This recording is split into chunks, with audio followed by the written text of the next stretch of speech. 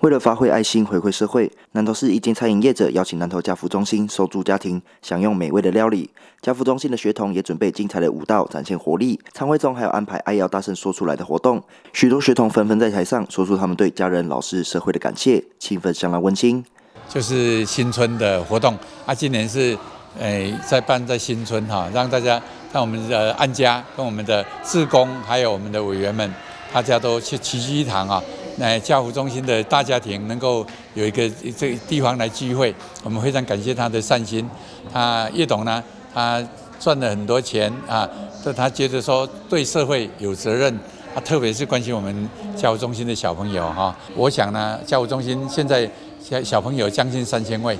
分布在一千八百个家家庭里面啊，他们是希望各位诶能够诶这多多关心他们，让他们说。呃，不要输在西法点。县院洪明科表示，叶董事长长期以来致力于公益活动，每年都会固定邀请南投家福中心收租家庭及儿童享用美味餐点。除了感谢叶董事长的善心义举之外，也希望只有这样的方式，能够将温暖传递下去。南岛餐厅哈，咱叶董事长哈，啊，伊每一年呢。啊，出城的时阵，拢会办到咱的南岛吼，办着请着咱教育中心咱这成员吼，甲咱这家长来甲咱南岛餐厅吼，共进晚餐啦吼。这是咱叶董事长吼，你这几年来每一年所做的，伊的出发点。上重要要互咱所有咱遮教育中心、咱遮好朋友咧、咱遮学生也好、家长也好，会感觉到一个讲真正温暖的一个新年吼。啊嘛上重要嘛爱感谢着咱教育中心咱的主任，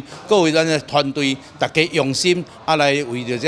家庭哦来付出哦。此次邀请南投家福中心收住儿童家庭以及中心同仁、职工等共计两百人参与。促使亲子一同共度欢乐、丰富的晚餐时光，也希望借此邀请社会各善行人士及企业一起重视，帮助需要帮助的人。记者钟俊南投采访报道。